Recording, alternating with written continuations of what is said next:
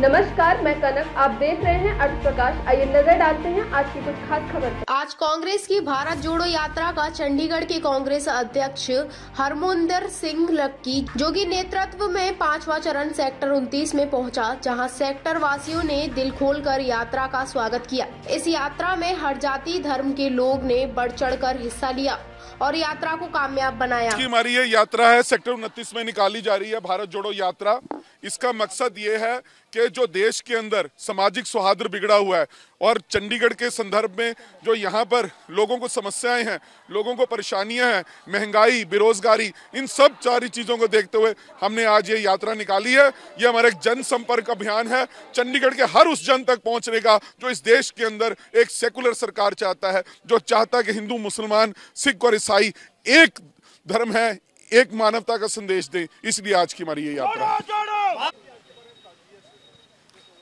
ये आज ना हमारी भारत जोड़ो यात्रा जो चंडीगढ़ संस्करण है, उसका पांचवा पड़ाव है।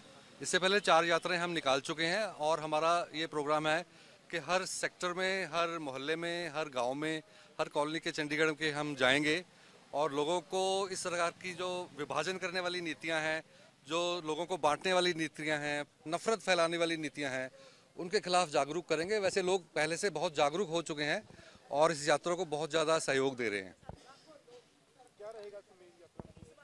यात, यात्रा में आज का हमारा प्रोग्राम है उनतीस सेक्टर सारा कवर किया जाएगा। उनतीस सेक्टर के सभी गलियों में और सभी सड़कों पे और मार्केटों में आज हम घूमेंगे और अपनी पार्टी का राहुल जी का संदेश देंगे और लोगों को बताएँगे कि सरकार इस देश को बांटने की कैसे एक सुनियोजित षड्यंत्र कर रही है और लोगों को आपस में नफरत फैला रही है लोगों के बीच में और बैर फैला रही है और देश के अहित में काम कर रही है।